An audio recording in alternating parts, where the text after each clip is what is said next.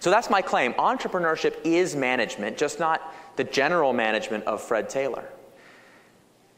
The unit of progress of that new entrepreneurial management is something I call validated learning. This is really at the crux of what the lean startup is all about. We have been trained in the 20th century to focus our energy hyper uh, acutely on trying to get our workplace to run as efficiently as possible. And the definition of that efficiency is making the most high quality stuff as efficiently as possible.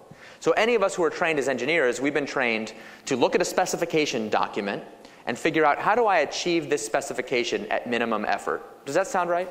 And if, if I'm an engineer who comes to you and says, listen, I found a way to achieve that same spec at you know, 80% of the cost, you're going to give me a huge promotion because you'll be so excited I saved you 20% of the time. Here's my question for this definition of progress. If we as entrepreneurs are building something that nobody wants, why are we proud of having done it on time and on budget? That's fundamentally the problem that we face as entrepreneurs. More often than not, we are simply building the wrong things extremely efficiently. So I have this image of us driving a car off a cliff, but we're bragging about the gas mileage. It's like, we're very efficient, efficient, efficient, as we go right off the cliff and crash. That's the fundamental problem. Uh, Daniel mentioned that I started a company called IMVU. And IMVU was a 3D avatar social networking company but we didn't know it at the time. We thought it was a 3D avatar instant messaging company. Because this was 2004, and our aspiration was try to become the next AOL, back when that was still cool. And so we built this 3D avatar instant messaging program. Now, we're in a business school, so let's talk corporate strategy for a second. You're building a new instant messaging program. What do we know strategically about instant messaging? First thing we know is that instant messaging is a network effects business. You guys been taught that already? Network effects, not along. Network effects means the value of the whole network increases with the square of the number of participants. So if you're the only person in the world with a telephone, not very useful. If everybody has a telephone, super useful. Make sense? Everyone in 2004 already had an instant messaging client. They were already locked into some platform. So what else do you know? We know that instant messaging has high switching costs. Because if you want to bring a new IM network to market, you have to get people to switch away and bring all their friends with them to your new network. Does that make sense? Therefore, in like proper MBAs, we said instant messaging is a business with high barriers to entry. Therefore, we cannot build an instant messaging client. Making sense so far? So we had a strategic brilliance. Check this out. Here was our idea. We would make an instant messaging add-on that would interoperate with all of the existing clients so that you wouldn't have to switch to a new program. Does that make sense? Doesn't that seem like a good idea? And here's the best part it would cause our product to spread virally through the existing networks like an epidemic. Because in order to use the product, you would click a button to say, Go 3D in my conversation, and we would send a link directly to your partner, inviting them to download IMVU too. And so every time you want to use the product, it's inherently viral.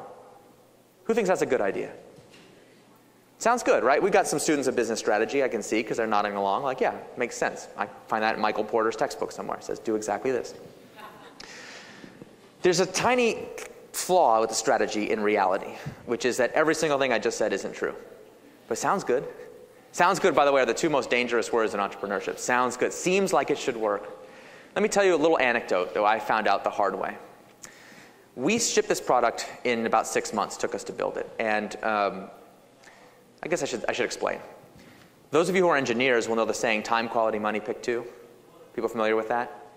That's engineering speak for if you rush me, I'm going to produce a crappy product. And so we only had six months and not very much money. And we said, we are going to put this product out in the market, so help us God, we are going to do it. And so we shipped a product after six months that was frankly terrible.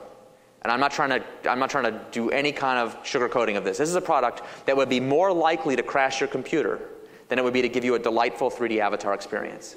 So I was very nervous. I was the chief technology officer, after all. So what's my job? To make sure we put out high quality technology. So I wasn't exactly thrilled with the prospect of putting out something that would crash people's computer. I had this image in my mind. You know, some enterprising reporter would see our thing after we shipped it, and they'd write an article. Idiots at IMVU don't know what quality software means. And that would be the end of my career. I had this picture of like a mugshot, you know, in the Engineers Hall of Infamy. But we did it anyway. And at first, I was actually relieved because nobody would even try the product. So at least nobody found out how bad it was, right? I was like, well, phew, dodged a bullet there. And then I was like, wait a minute. What did I just spend the last six months of my life doing? And to make a long story short, we tried and tried and tried to get customers to download this product. And after running out of trying everything we could think of, we finally resorted to that absolute last resort, which is talking to customers.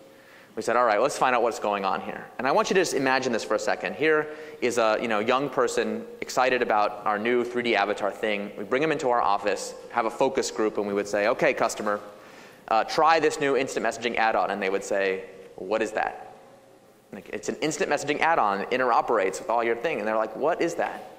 I don't know what an instant messaging add-on is. That's not a category that means anything to me. Is it an IM client or not? And we'd be like, sort of.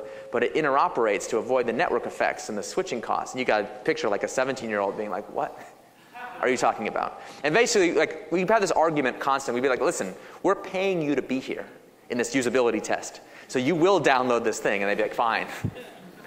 That's never a good sign to begin with. We'd force them to do it, and they'd download it, and they loved the 3D avatar, and they loved customizing their avatar, and they would check it out, and be like, ooh, this is so fun. And then we would say, okay, time for the strategic brilliance, time to invite one of your friends. They were like, no thanks, I decline. Why? I don't know if this thing is cool yet, and so I'm not going to invite one of my friends to something that might be lame, because then they're going to think I'm lame. And we're like, no, but it'll be so fun once you invite one of your friends. Trust us. And then it's just like looking at us, total deal breaker. And we tried that trick again. Be like, no, we're paying you to be here, so you're going to do it. And I kid you not, most customers were like, I'll give you your money back.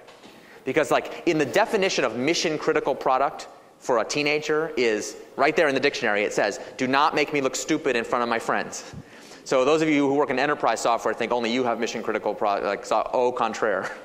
Our customers cared a lot about that. It was a complete deal breaker. We could not convince them to do this behavior.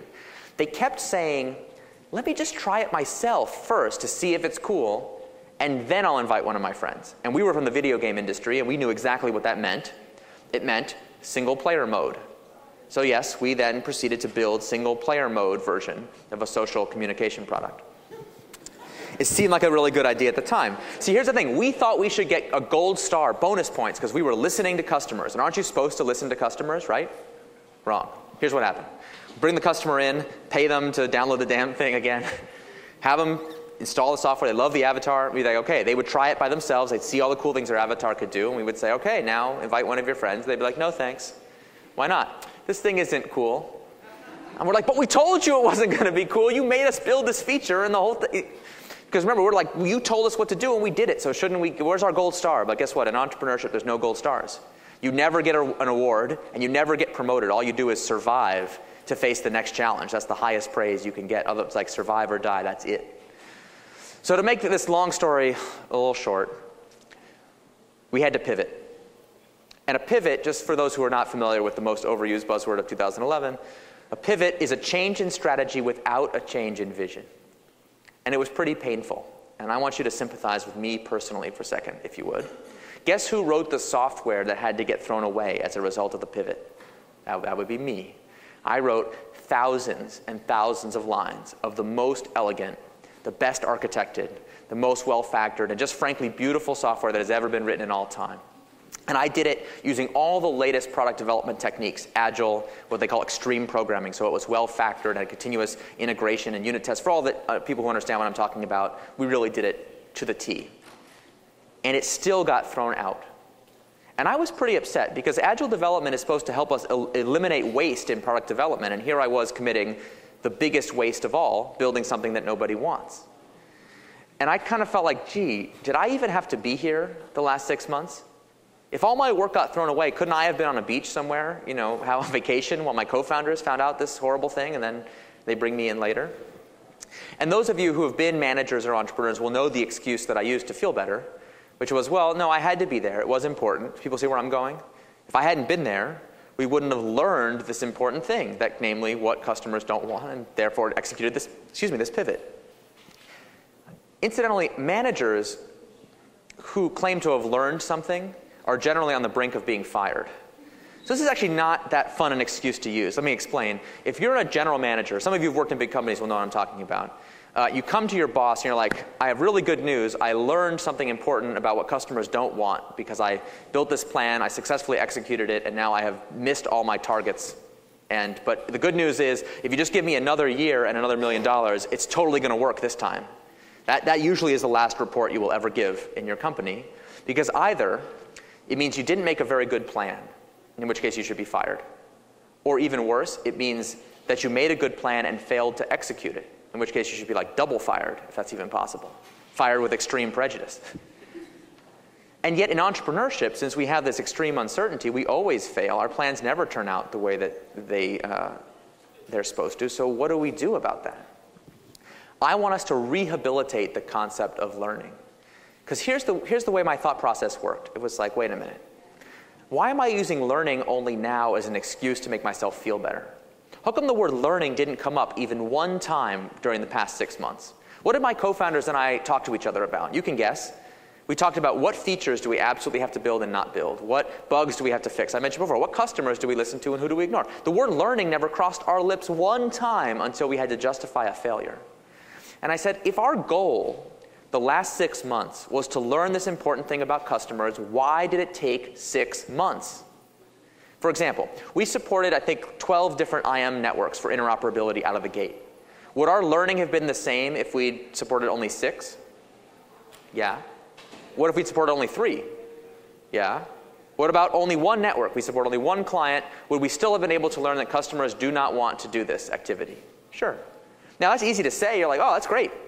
But wait a minute, that's 10 times less work for the same value. That was very upsetting. But that ain't nothing compared to this thought that was really disturbing. Because get this. What if we had just created a single web page with nothing more on it than a screenshot of the product we intended to build and a giant download button. Would we even have had to build page number two where we apologize that the product's not available yet? Or would a 404 have been sufficient? What did I say before? I said they wouldn't download the product. That means they literally wouldn't click the button, so who cares what's on page two? Now you can see why this is disturbing to me because I had to pull out my business card, and what does it say on my business card? Chief Technology Officer. It does not say chief crappy one day landing page experiment officer. So then I was like, what am I supposed to do with my time? How is it possible that my six months of dedicated work could have the same value as a crappy one page you know, experiment that some designer could have whipped together in an hour? That was really disturbing, and that is at the heart of what I'm trying to get at. The value in an entrepreneurial situation is learning whether we're on the path to a sustainable business. Everything else that we do is waste.